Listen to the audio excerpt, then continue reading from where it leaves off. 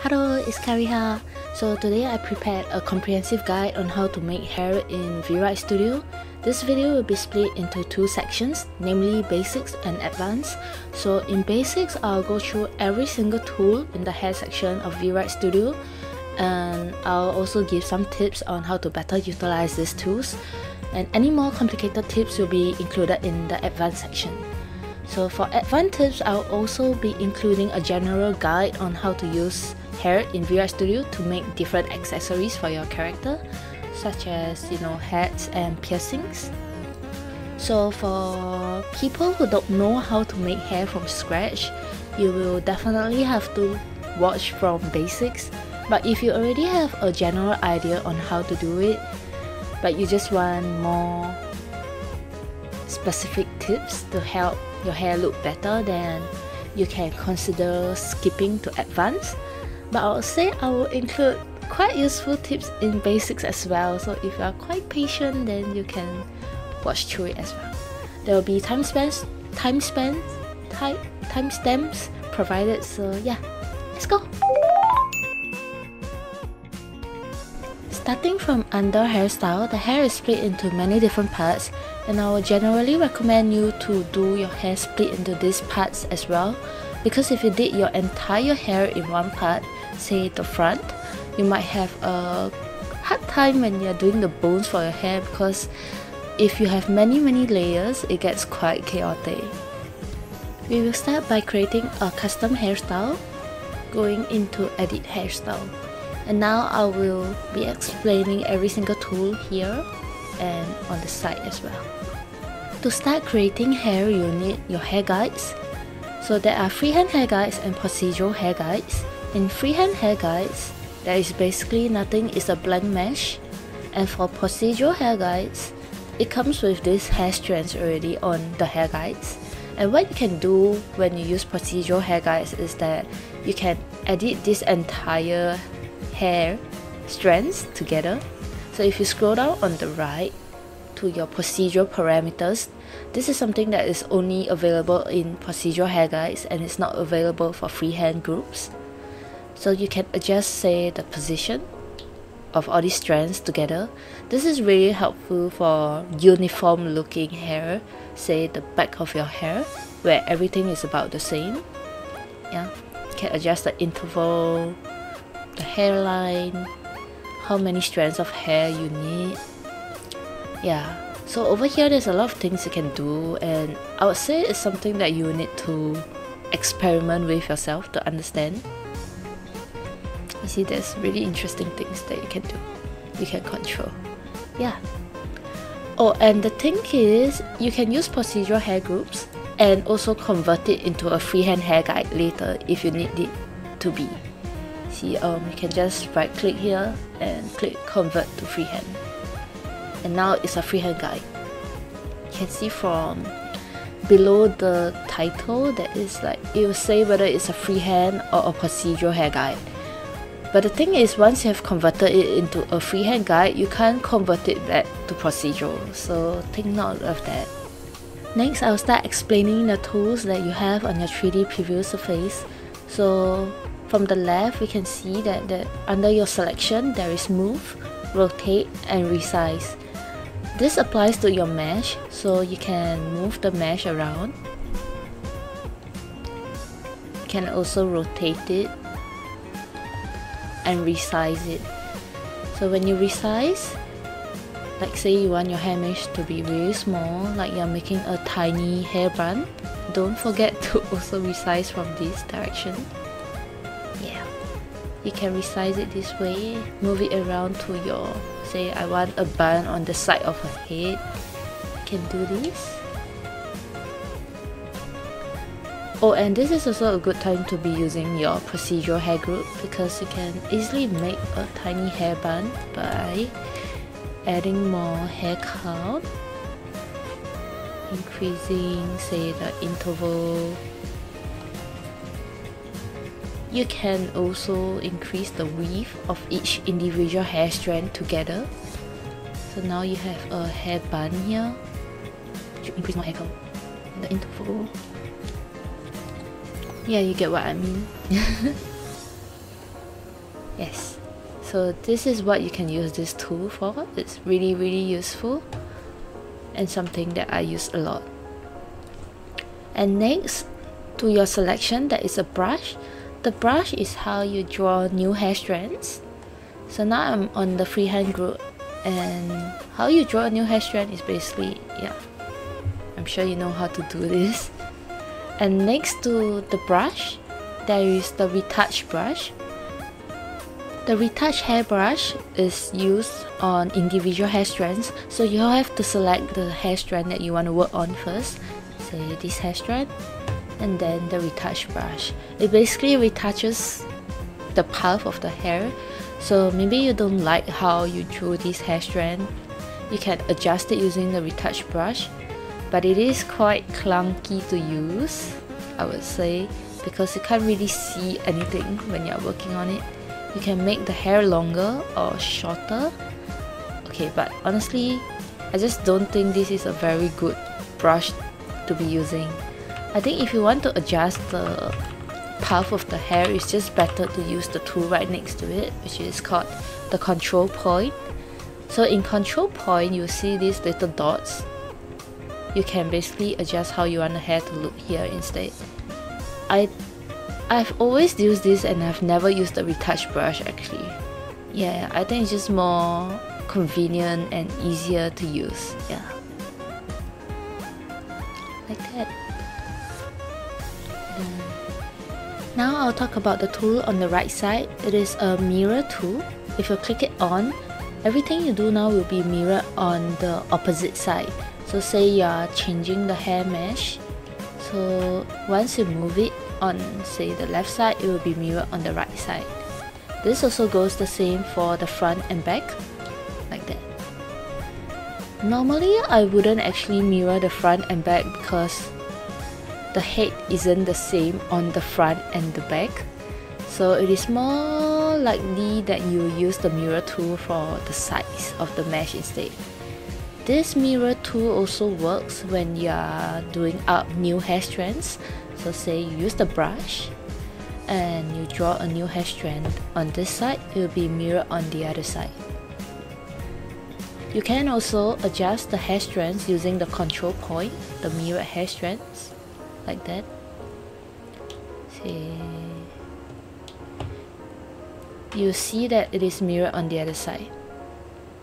The changes are. So if you forget to turn on the mirror tool and you only have the hair done the hair strand down on one side so let me delete this.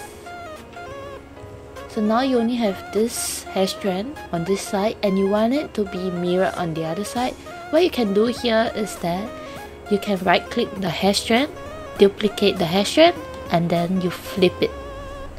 So now it's here as well but the thing is, when you do it this way and you adjust the hair strand now again using the control points, it wouldn't be mirrored on the other side. Next, I will explain the material and texture parameters. So for material, if you click the drop down, you can see main color, highlight color, outline color, and shader color. So the material is basically your texture for the hair. So if you edit texture, can see this is the hair texture that is currently applied. And over here I will write A B C.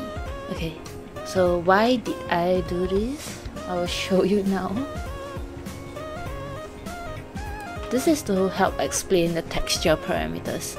So when you see the width it means how wide the texture is so if I increase the width, you can see that A is becoming wider, right? But what if I don't want to see the A and I want to see the B? I will adjust the offset instead. And I'll shift it over to where the B is.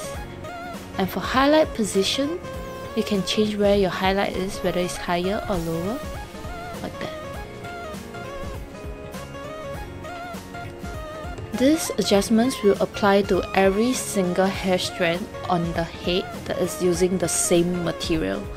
So let's say if you want to only adjust, you want the adjustment to be only made to this hair strand, and not this hair strand, then they have to be on different material.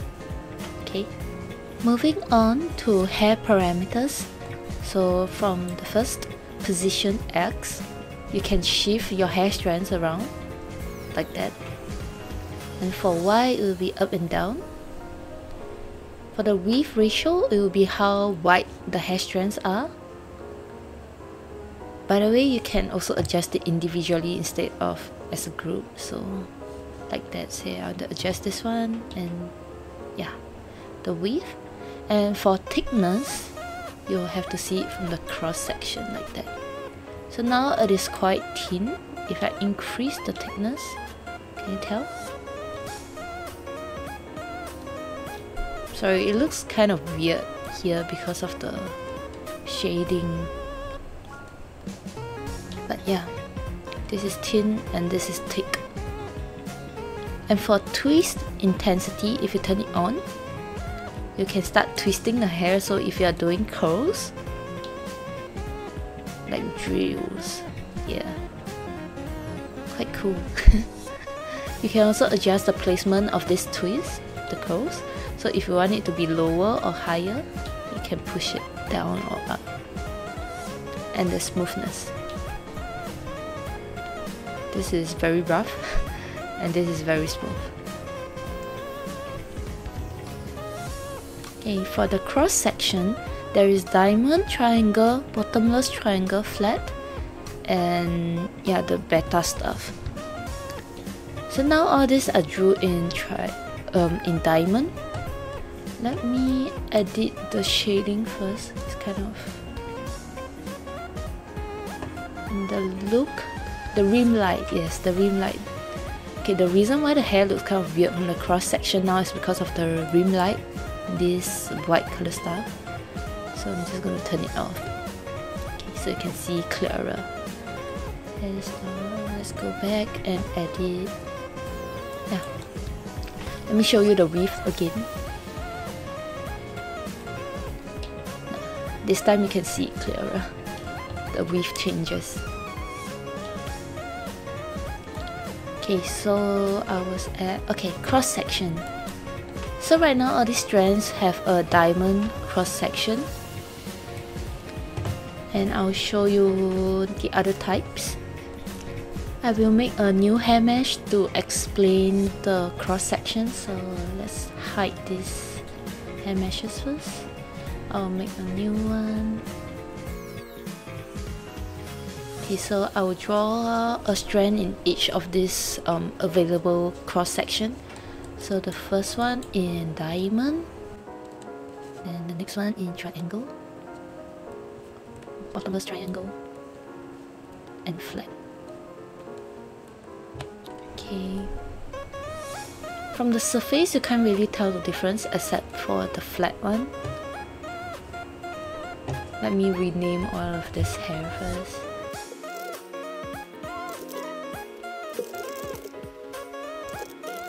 To better see the cross section, we'll be increasing the thickness of all these strands. And we'll also make these strands into a blunt cut. Okay. So from here it's pretty obvious now. You can see the diamond shape, the triangle shape, the bottomless triangle, and the flat one.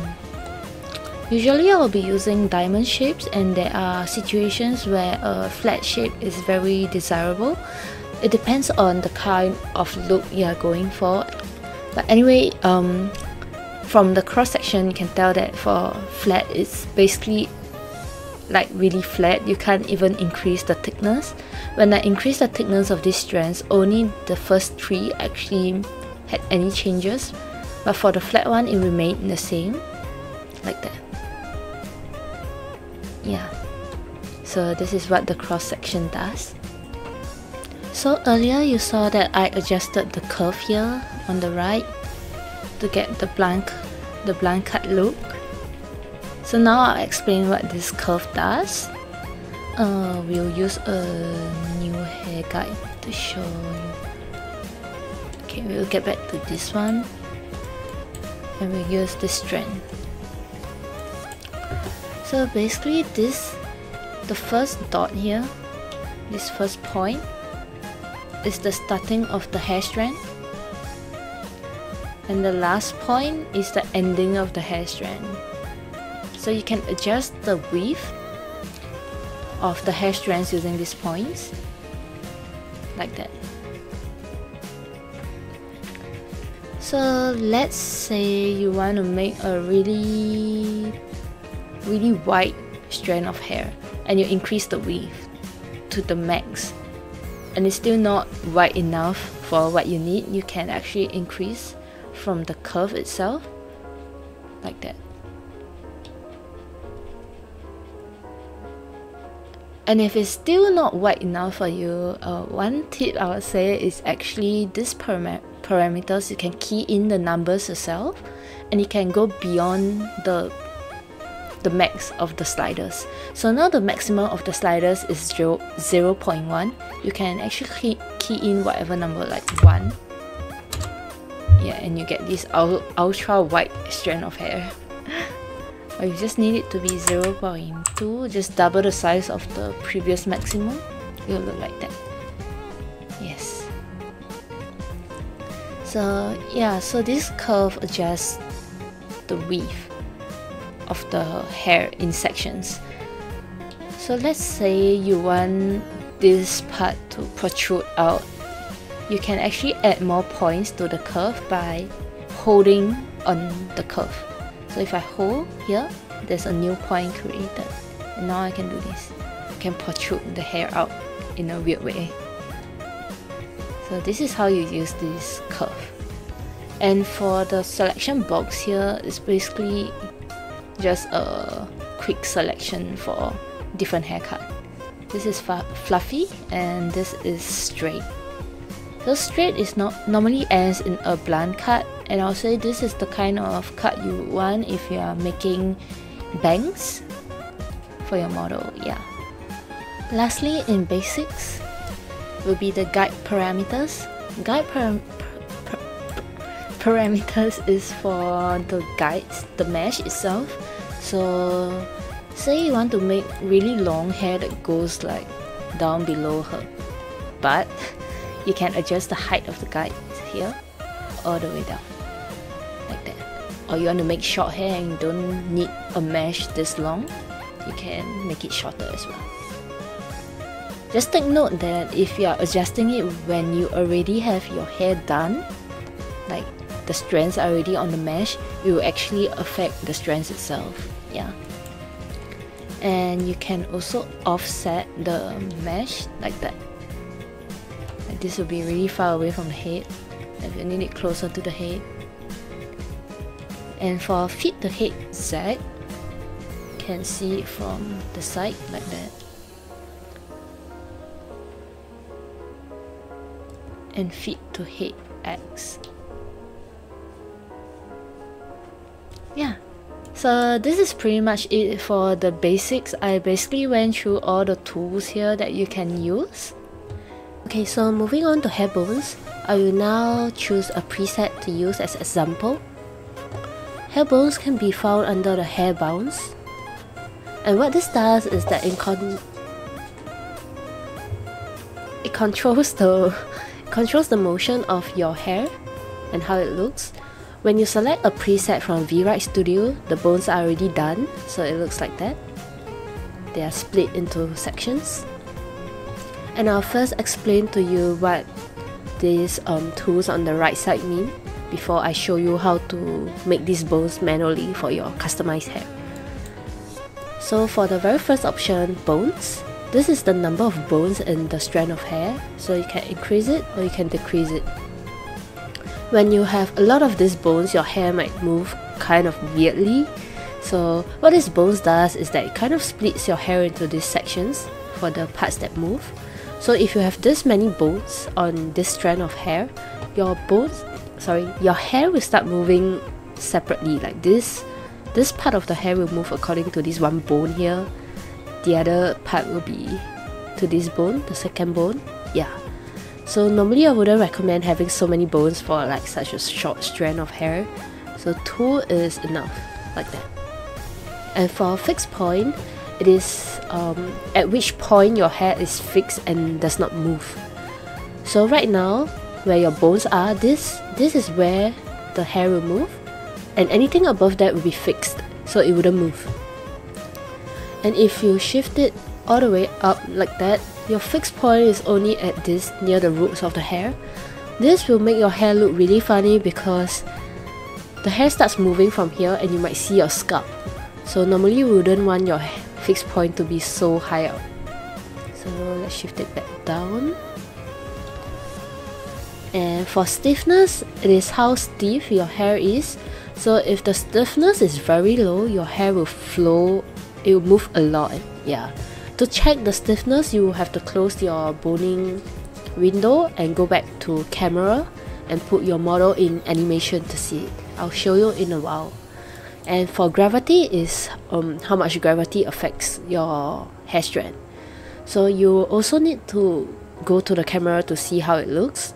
Okay, so for gravity, you will most likely see the effect of it when you use wind. So you can set it in camera as well to check. And hit radius is how big these bones are. So you see, you can increase it to this really huge size. But when you have such a huge bone, it will collide with the neighboring bones and your hair might move kind of weirdly. So take note of that and just keep it on a lower end to be safe. yeah Okay, now we'll move on to camera to see exactly how this hair flows. So you have to close your bone, your hair bounce window, override, save it. Go to camera on the right side. Okay, so in camera you can go to poses and animation and put the model into an animation, say walking. Now you can see how the hair moves. Sometimes the hair might look alright, like it will look quite normal when the model is walking, but it might look weird when the model is making bigger motions, so it's better to choose other animations to try out as well.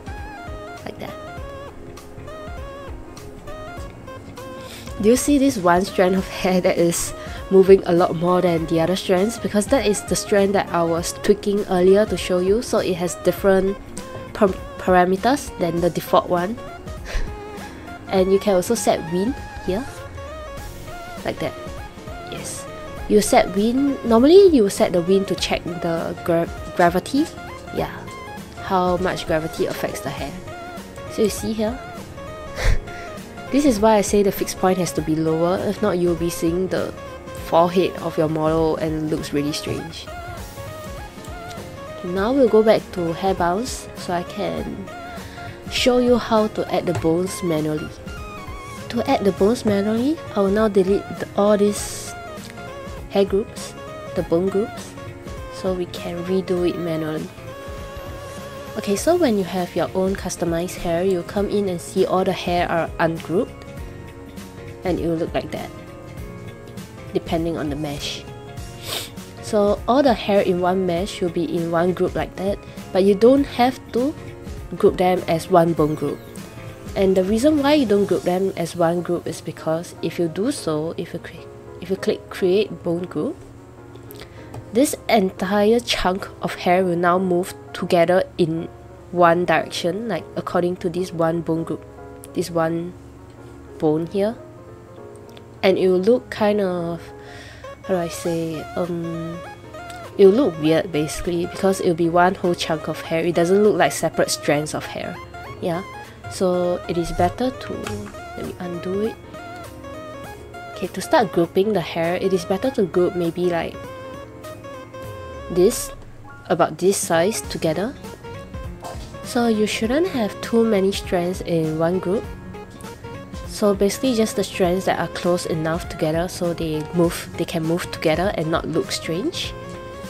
And so once you have selected the hair, you can click create bone group. There's also the option to use the auto generation for bone groups. And I guess it is a good option if you are not very clear on how to generate your own bone groups yet. So you can just basically adjust how many you want and click auto generate bone group and looks like this.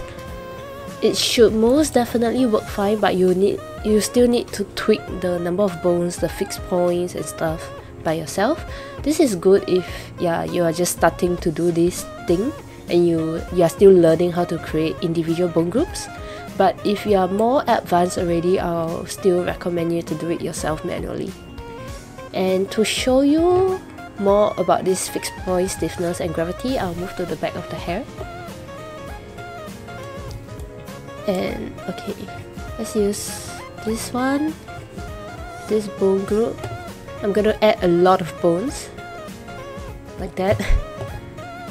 This one will have the default number of bone groups.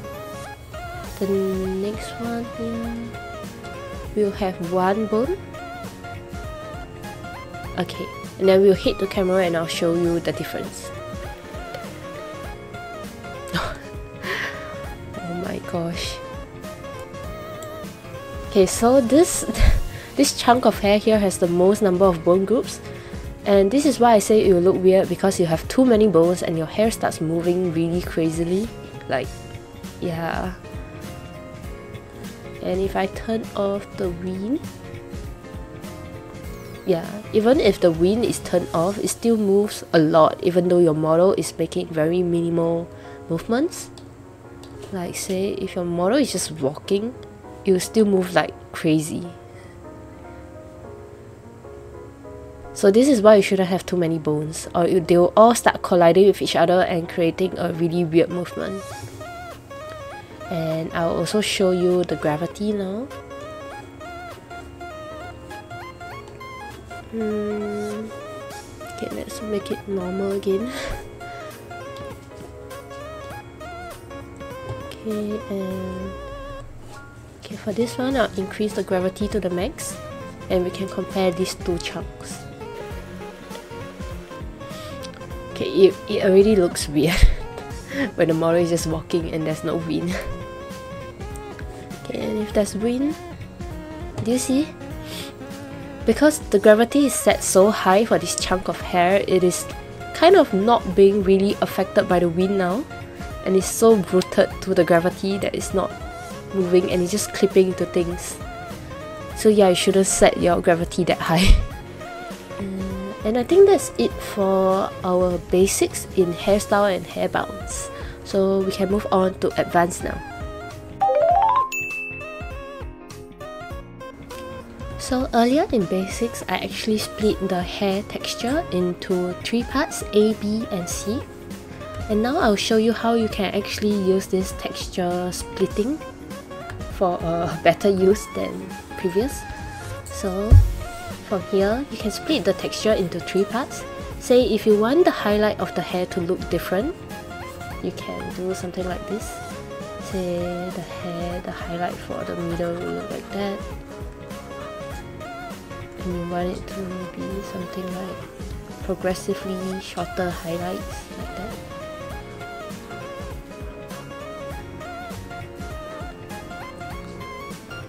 Okay, I know it looks very ugly now, but this is just to show you, say, the center strand We have offset, we have this giant highlight here.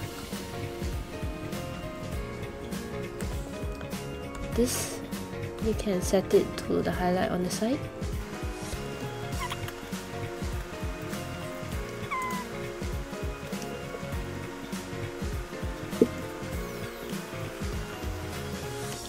so you can do something like that. This is how you can use the texture parameters. And of course there are a lot more ways you can use this for. So it's something that you just have to be experimental with. So say you want to have different looking texture for each strand you can then split these strands like say you want to have shadow here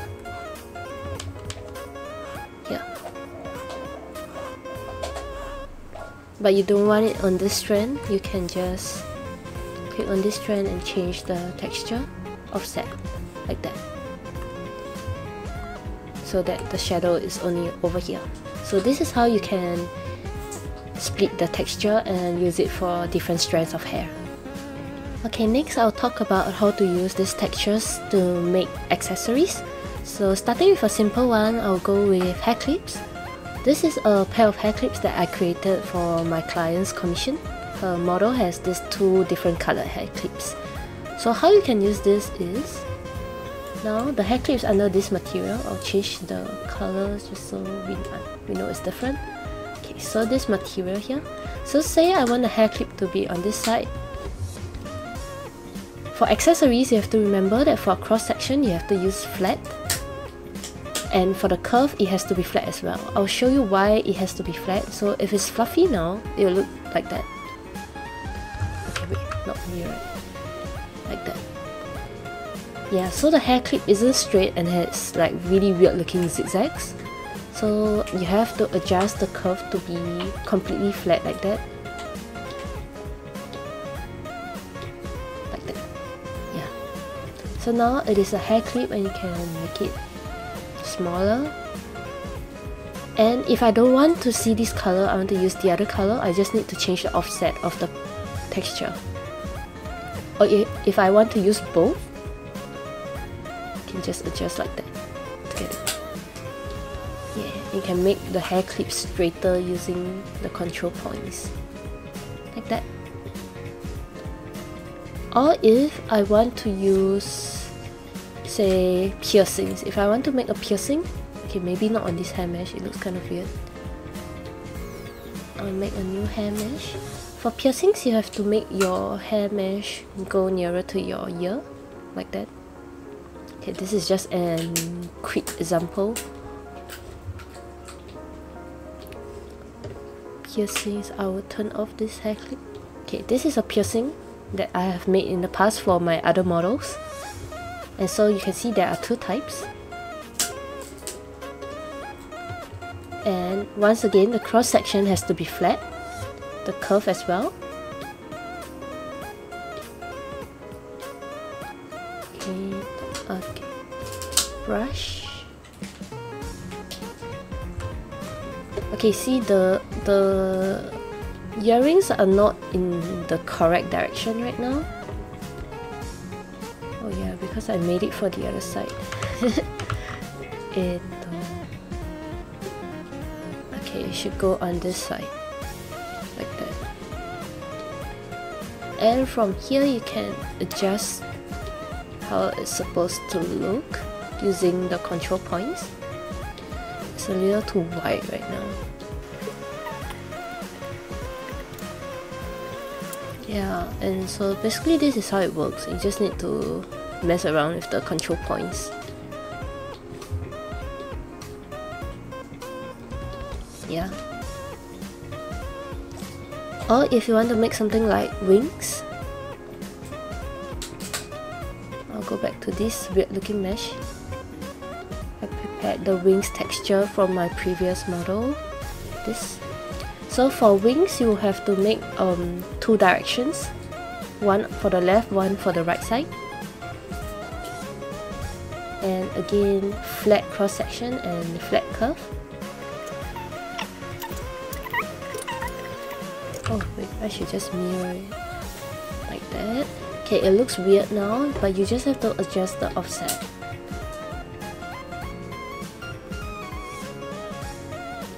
individually.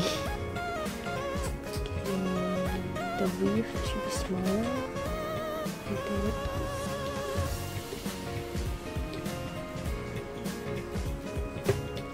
I think the shape looks weird now but just have to adjust it to your liking. So it looks like that. And you can push it backwards. Can adjust the mesh. Yeah, this is basically how Wings works in VRoid. And for any other accessories, they are basically the same um, logic, they are made by the same logic. You just have to play around more to understand how to use these textures more efficiently. Yeah. For other accessories that are not flat, say um, a horn, if you have a horn, you need to create a hair mesh and create the shape say I want a horn that goes upwards you have to rotate your hair mesh there's a lot of experimenting around for this kind of thing. You need to play around with your hair mesh. And also for this your cross section should be diamond.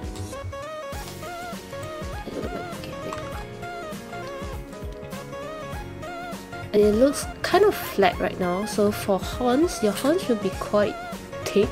So you should increase the thickness maybe beyond beyond the sliders.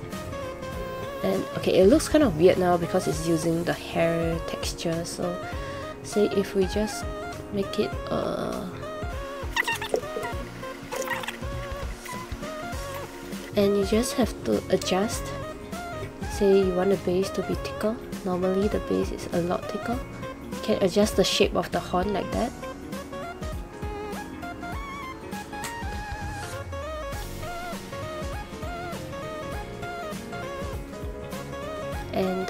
as well. Set the shape. This is how you create different add-ons on your VRoid model. They are mostly made by hair. So something like that. Yeah you can just play around with the parameters. So I think that's it for accessories in VRoid Studio because there's so many accessories I can't possibly really cover everything but they're all made by this same principle of playing around with the texture and meshes so yeah this is it for the VRoid hair tutorial video and thank you for watching till the end. If you have any more questions you can leave it down in the comments below and I'll try my best to help you. And also thank you to all those who voted in my hairstyle poll because I really really like this new hairstyle. And if you would like to see more VRoid content, you can like and subscribe for more. See you and bye!